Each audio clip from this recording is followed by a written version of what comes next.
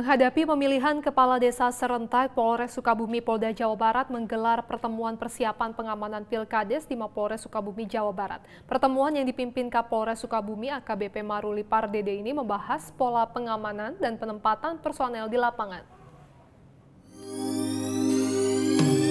Polres Sukabumi Polda Jawa Barat menggelar rapat persiapan pengamanan Pilkades serentak di Mapolres Sukabumi pada Selasa 19 September 2023. Dalam pertemuan ini Kapolres Sukabumi AKBP Maruli Pardede mengumpulkan seluruh pejabat utama Polres Sukabumi dan Kapolsek jajaran dalam rangka mempersiapkan pengamanan pilkada serentak di Sukabumi. Sebanyak 71 desa akan menggelar pilkada serentak pada hari Minggu 24 September 2023. Sementara itu, Kapolres Sukabumi AKBP Maruli Pardede mengatakan bahwa pola pengamanan telah dirumuskan dan penempatan personel di lapangan telah disiapkan. Kami menghimbau kepada seluruh masyarakat agar sebisa mungkin menahan upaya-upaya atau tensi daripada emosi agar tetap terjaga kondisivitas daripada Kabupaten Sukabumi ini menjelang daripada Pilkades serentak. Dan mari kita sukseskan Pilkades serentak tahun 2023 ini dengan jujur, adil, aman, dan damai atau jurdil adam. Dan bagi para calon kades yang akan mengikuti kompetensi ini agar sesuai dengan komitmennya pada waktu menyampaikan deklarasi, yaitu siap menang dan siap kalah.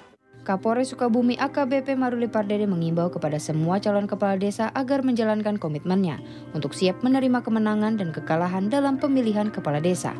Tim Humas Polres Sukabumi Polda Jawa Barat melaporkan untuk Pori TV. Untuk membantu masyarakat akan kebutuhan air bersih, Satlantas Polres Grobogan melakukan pendistribusian bantuan air bersih di Desa Nambuhan, Kecamatan Purwodadi, Grobogan, Jawa Tengah.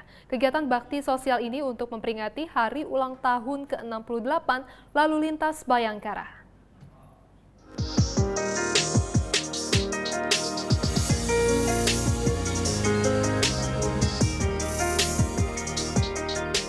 Dalam memperingati hari ulang tahun ke-68 Lalu Lintas Bayangkara, Satlantas Polres Grobogan melakukan bakti sosial pendistribusian bantuan air bersih di Desa Nambuhan, Kecamatan Purwodadi, Grobogan pada Rabu 20 September 2023. Dalam kegiatan ini, Satlantas Polres Grobogan menyalurkan air bersih sebanyak 12.000 liter dengan menggunakan dua truk tangki.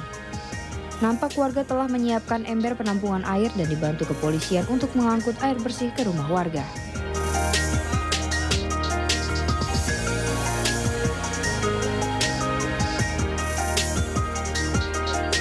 Sementara itu, Kasat Lantas Polres Grobogan AKP Deni Eko Prasetyo mengungkapkan bahwa penyaluran bantuan air bersih kepada warga ini sebagai wujud kepedulian Polri kepada masyarakat yang terdampak krisis air bersih akibat kemarau panjang. Kami Kasat Lantas Polres Grobogan pada pagi hari ini kami bersama dengan komunitas program dari Kabupaten Grobogan, komunitas e, motor ini melaksanakan bakti sosial terkait dengan bantuan air bersih pada pagi hari ini kita laksanakan di Desa Nambuan, kemudian kita laksanakan di beberapa desa yang membutuhkan air bersih karena kekeringan yang berkepanjangan. Ini merupakan program menyambut HUT Polantas dan juga merupakan program dari Bapak Kapolres Grobogan. Selain penyaluran air bersih, Satlantas Polres Grobogan juga membagikan ratusan sembako untuk warga yang membutuhkan. Tim Humas Polres Grobogan Polda Jawa Tengah melaporkan untuk Polri TV.